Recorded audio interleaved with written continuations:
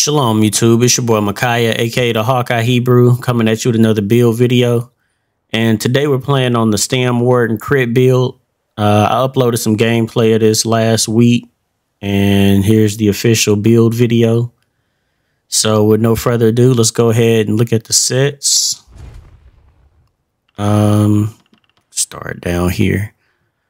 The first five piece set we're running is Rallying Cry, and I really like this set because of the you get the 286 weapon and spell damage and then the 1500 crit resistance. And even if you got two or three people in your group, the amount of crit resistance you get from this is still more than seven pieces of impen. So this set is really nice as a back bar set. And basically what it's allowed me to do is run seven divines on the body and still not get my forehead cracked from not having that crit resistance. So I really like this set. Uh, we're only running this back bar. I have two rings infused with weapon damage. We got a stam recovery glyph on the neck. And at some point, I'm probably going to infuse this so I can get a little more stam recovery. And then we have the back bar bow. And I wanted this bow precise because on the back bar we have almost 60% crit. So I really like the setup like this. We got the Gaze of Sithis helmet on. That's to get a little bit more armor and health because we're in five medium, one heavy, one light. So I don't want to be too squishy. And then the next five he said we have is New Moon Acolyte. And like I said, all our traits are divines. So we got the gaze divines, new moon chest divines. We got a one piece Slimecraw here, which is divines also. So we can get a little bit more crit chance. Then the new moon, we got the light sash, divines, divines, divines. So yeah, everything, all divines if, if you can. Uh, we have a Tristat enchant on the legs and the Gaze of Sithis. And then everything else is Stam enchanted. So that's pretty much the gear. Like I said, the Rally Cry back bar. And then on the front bar, I just have a random Deadly Maul. And I did that for a reason because I wanted to keep this slot flexible for maybe you want to use the Maelstrom weapon for the crit charge bleed or maybe you want to use the Vateshran 2H here, or maybe you don't like two hand at all and you want to go dual wield. And you can still do that with the way that I set this build up. So just put the rallying cry on the back bar and front bar can be whatever you want it to be. I got the Deadly Maul sharpened with a weapon damage enchant. And that's pretty much the sets. Let's go ahead and look at the character sheet.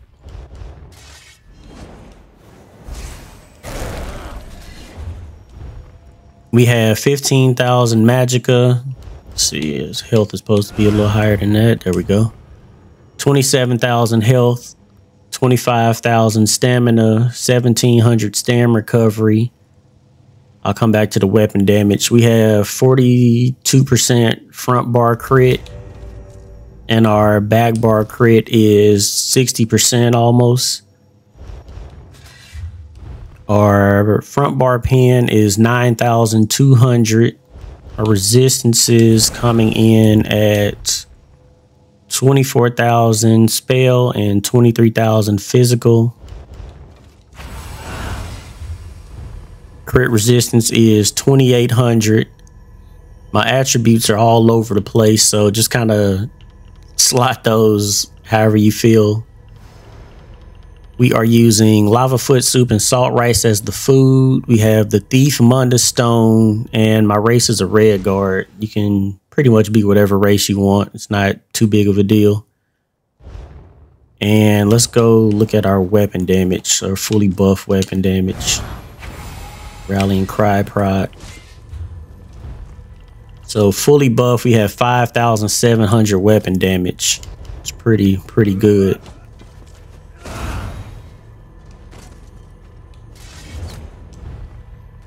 And that's pretty much all of the stats.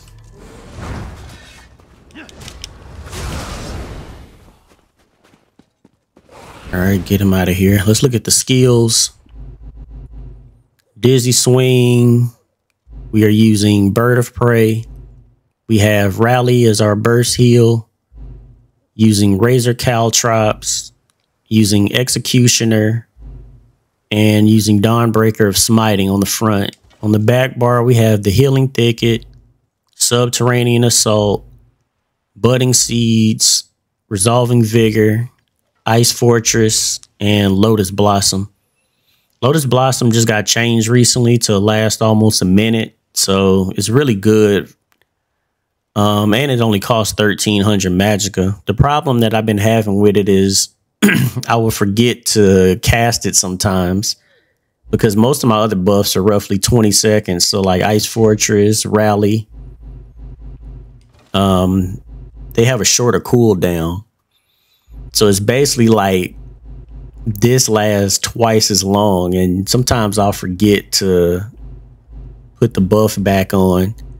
I noticed that a lot with gameplay. Like I will let this drop off. I would forget to cast caltrops before the engagement. It was just so much buff management. So I kind of swapped some things around. Like one of the things I did was I end up putting Camo Hunter here. And you can still keep Caltrops here. I kind of experimented with Crit Rush as well since we're already critting. Might as well take advantage of that. And on the back bar, what else did we swap out? I noticed sometimes I was getting a little gassed even with the amount of recovery we have. So I swapped to the Bull Netch here and then as far as heals, I was playing around also with the Enchanted Growth heal. You can you can do that. And we also had living trellis. Those are some of the heals we were playing around with. The issue I have with budding seeds is it's a bit weird for me. Sometimes I get the heal right when I need it, and then there's other times where I'm kiting and I'll I don't know, I was like maybe I'll forget to hit it again. Because the way it works is you can drop it down and if you hit it again, you can kind of get a heal from it. Or I don't know if this bug, but you can also just let it go away and get the heal from it like that too.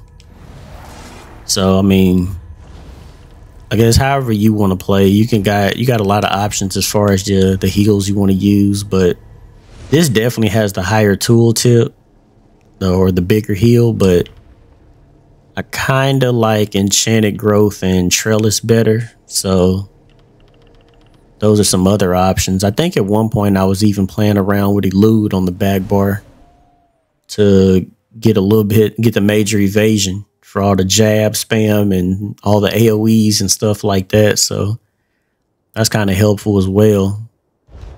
Then let's go ahead and look at the champion points.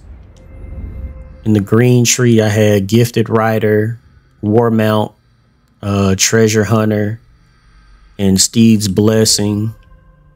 In the blue tree, we're using Biting Aura, Master at Arms, Duelist Rebuff, and Ironclad. And in the red tree, we have Survival Instincts, Pain's Refuge, slippery, and fortified. And that's pretty much the CP. I just noticed, I, I noticed I did something. As far as stam recovery, I forgot to pop my potion. Noob status. So we actually with the we actually have 1900 stam recovery instead of 1700. Can't believe I forgot to do that. But yeah, that's the build video. Um, got a lot of flexibility with this build to set it up however you want. So hopefully you all enjoy the gameplay at the end and I'll catch you in the next one.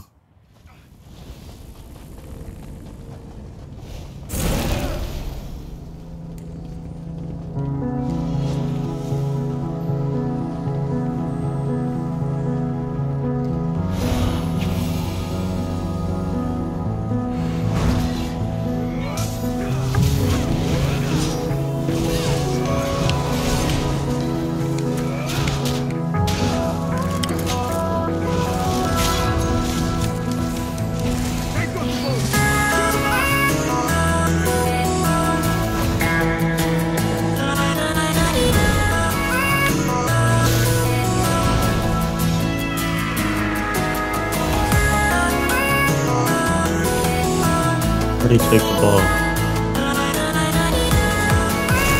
Oh, they're right there. Damn, he dies the hell out of my Donnie.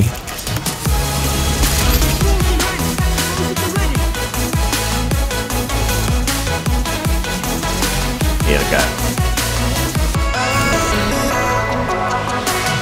What are you going over here?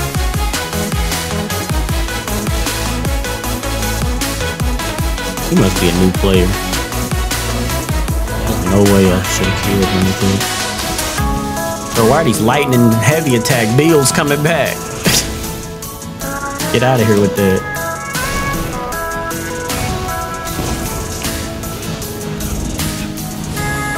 Oh, they got that streaking, man.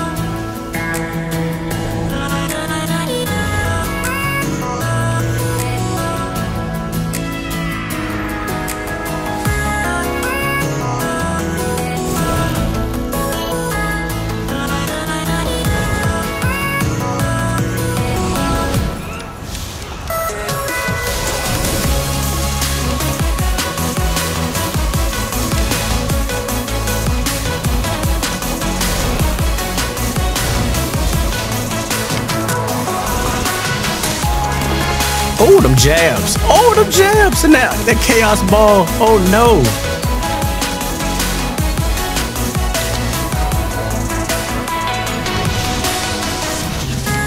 Bro, he on one. Okay. Now. How you like me now?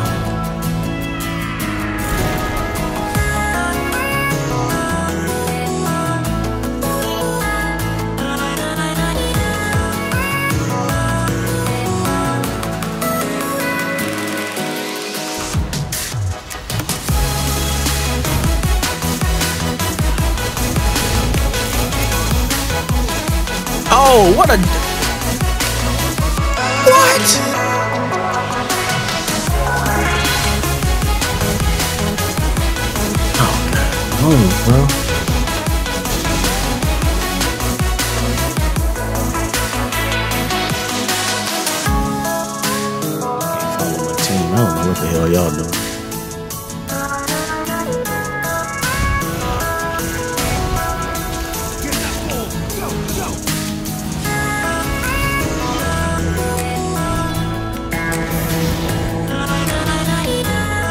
Woo! Damn, he almost burst in my hairline, bro. Oh my god. Oh, I don't know how I did that right there.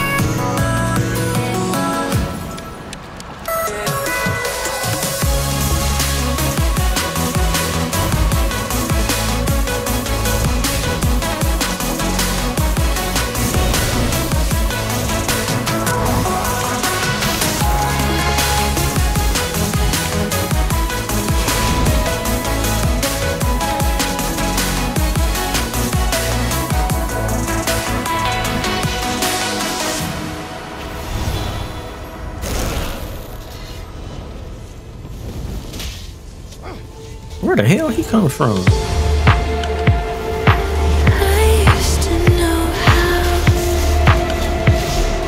Let me drop my alt, bro. Oh my god, it might be killed.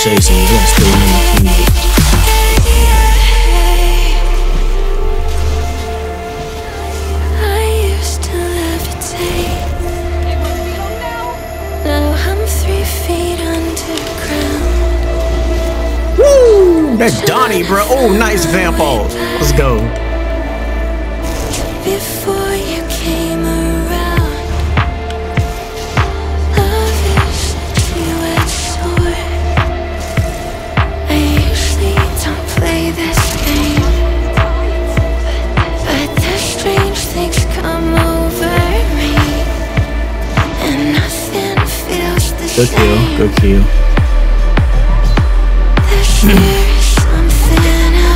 that boy Shank is always in the right place at the right time.